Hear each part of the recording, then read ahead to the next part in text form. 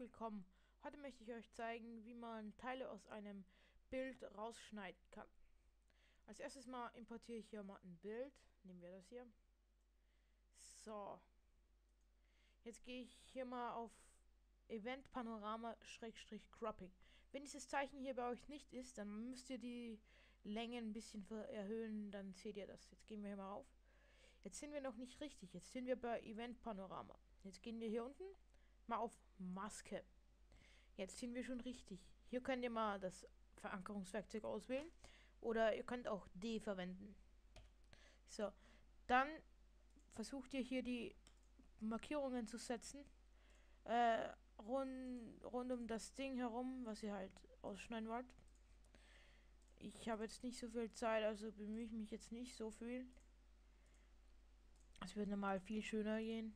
Werdet gleich sehen, dass es nicht so schön ist. Aber es reicht mal zum Erklären. So, und jetzt schließe ich den Kreis hier. Und hier sieht man schon das Ergebnis. Ja, eigentlich war es das schon. Jetzt ist dieses, dieses Bild hier immer so verkleinert. Jetzt kann ich euch nochmal einen Vorher-Nachher-Effekt zeigen. So, hier mal kürzer. So. Und jetzt zeige ich euch mal Vorher-Nachher. Schaut hier hoch Und jetzt seht ihr das. Und einmal noch bitte.